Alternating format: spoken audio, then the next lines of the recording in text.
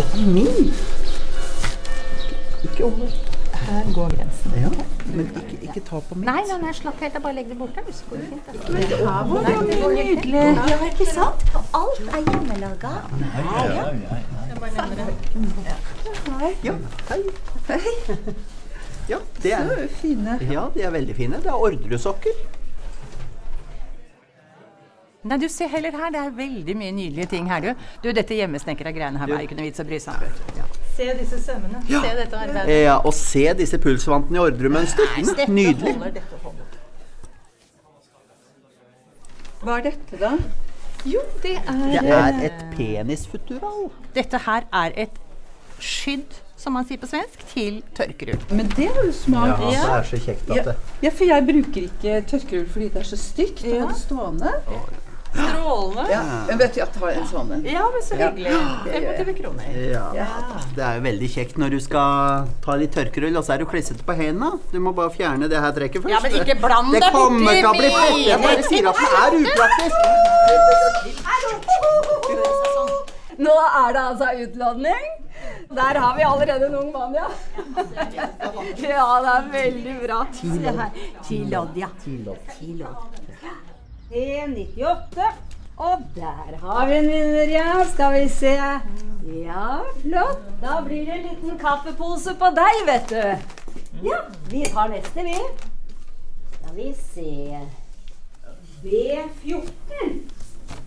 B14. B14, Å, ja. det er meg! Ja, og du har vunnet en kaffe, du. Vær så god. Ok, Ja, det er flott. Ja vel. Du, vil du se etter loddene mine? Jeg skal bare ut og ta meg en liten røyk. Ok?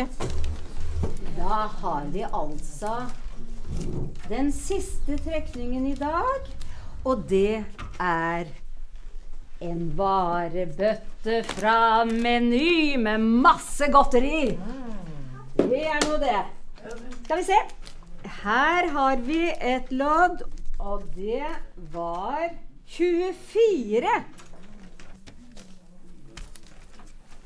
Nei, 24. Nei, da blir det godteribøtte til den unge mannen her. Gratulerer. Får jeg låne din? Stratos med nøtter! Den er ikke lett å få tak i, altså. Herlig. Å, så bra. Påsken er reddet. Vaffelrøre! Å, å, det var bra. Ja. Ja, så mye Du, unnskyld meg, har du, har du stjålet loddet mitt? Hæ? Hun sier at du har stjålet loddet mitt. Sier du at sønnen min er tyv? Unnskyld meg, men har du stjålet loddet hennes? Ikke bland deg oppi det. Jeg Ja, har ikke stjålet? Jeg har ikke stjålet noe lodd. Her står det Harriet. Det beviser ingenting. Vi skrev Harriet på alle våre også. Slett det, bøtta! Men du vant jo, du. Det er ikke din, det er hennes. Ja, men det er min bøtte! Jeg vant bøtta! Det er ikke noe sigaretter oppi her! Det er ikke noe for deg oppi her! Da ringer vi politiet. Kom. Altså, ta bøtta, da! Legg tilbake Stratosen, mamma. Sladrehank. Min!